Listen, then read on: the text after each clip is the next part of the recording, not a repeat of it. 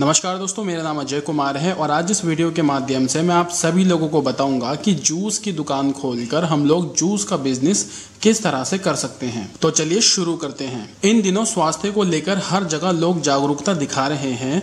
हालाँकि वक्त के साथ एवं भारतीय परिस्थिति को देखते हुए लोगों का स्वास्थ्य के प्रति जागरूक होना अनिवार्य भी है। स्वास्थ्य तभी बेहतर रहता है जब हम एनर्जी देने वाली चीज़ों का सेवन करते हैं, जैसे कि फलों का जूस। मौसम के अनुसार विभिन्न तरह के फल आते हैं।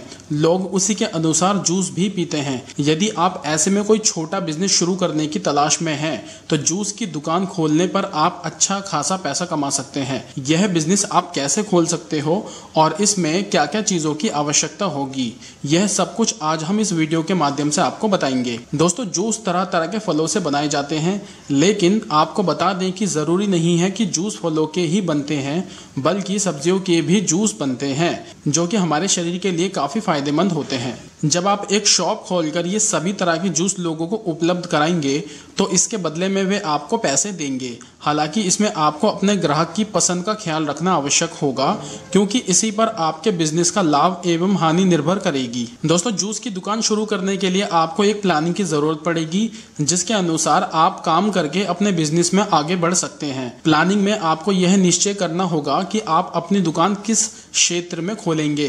जूस निकालने वाली मशीन कहाँ से लेंगे और पूंजी की व्यवस्था एवं ग्राहों तक कैसे पहुँचेंगे? इसके बाद आप बहुत आसानी से इस बिज़नेस को शुरू कर पाएँगे।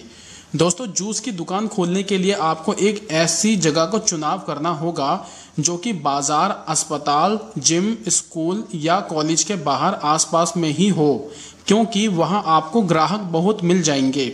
दोस्तों, जूस की दुकान खोलने में वैसे तो आपको किसी भी कर्मचारी की आवश्यकता नहीं है, लेकिन आपको अपने हेल्पर के रूप में कम से कम एक से दो लोगों को रखना पड़ेगा, क्योंकि इससे आपको काफ़ी मदद मिलेगी। दोस्तों, जूस की दुकान खोलने के लिए आपको कुछ चीज़ों की आवश्यकता होगी। सबसे पहले तो फलों एवं सब्जियों की आवश्यकता होगी, जो कि एकदम ताज़ी होनी चाहिए।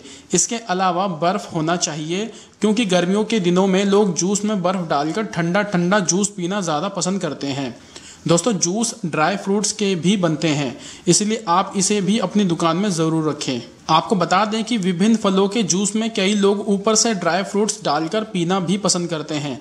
आपने यह तो समझ ही लिया है कि आपको जूस की दुकान खोलने में किन किन कच्चे माल की आवश्यकता होगी। अब आपको यह बताते हैं कि आपको इसके अलावा और क्या चाहिए होगा। तो आपको बता दें कि आपको कुछ ज़रूरी मशीनरी एवं बर्तनों की आवश्यकता होगी। इसमें कुल तीन तरह की जूसर मशीन आती है। आपको वह तीनों चाहिए होंगी।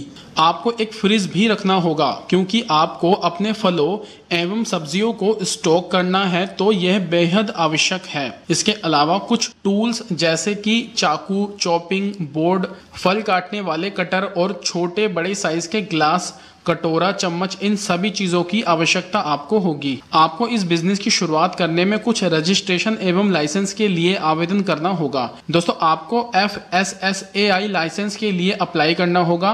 ये लाइसेंस खाद्य सामग्री से संबंधित लाइसेंस है। इसीलिए आपको अपनी गुणवत्ता को जाँच कराकर जाँच कराकर F S S A I registration कराने की आवश्यकता होगी और इस आवश्यक लाइसेंस को प्राप्त करना होगा। दोस्तों, आपको अपने बिज़नेस के लिए जीएसटी रजिस्ट्रेशन कराना भी आवश्यक है। साथ ही साथ दोस्तों, आपको अपने बिज़नेस के लिए ट्रेड लाइसेंस लेना भी बेहद ज़रूरी है। इसीलिए आपको यह लाइसेंस भी प्राप्त करना होगा। दोस्तों, जूस की दुकान खोलने के लिए आपको ज़्यादा लागत की आवश्यकता नहीं पड़ेगी। इसे आप लगभग पचास हज़ार रुपए में शुरू कर सकते हैं। लेकिन यदि आपको इसमें मशीनरी एवं फ्रिज भी लेना है तो इसके लिए आपको एक लाख रुपए तक का भी निवेश करना पड़ सकता है। यदि आपके पास इतने पैसे नहीं है तो आप मुद्रा लोन के लिए आवेदन देकर यह प्राप्त कर सकते हैं, क्योंकि इतने पैसे आपको आसानी से मिल जाएँगे।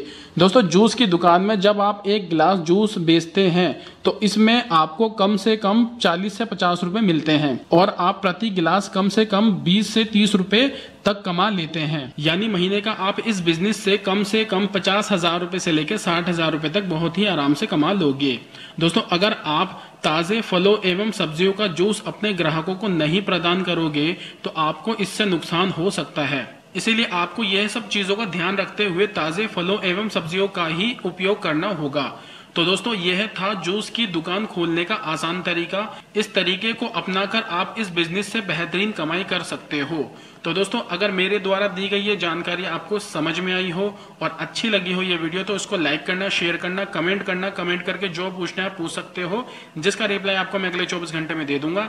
ऐसे बिज़नेस से जुड़ी और भी वीडियोस पाने के लिए चैनल को ज़रूर सब्सक्राइब करें, साथ में बेलाइकन को भी प्रेस करें, ताकि डायरेक्ट नोटिफिकेशन आपको मिले और आप मेरी वीडियो सबसे पहले देख पाए। तो इस वीडियो को देखने के लिए आपका बहुत बहुत धन्यवाद।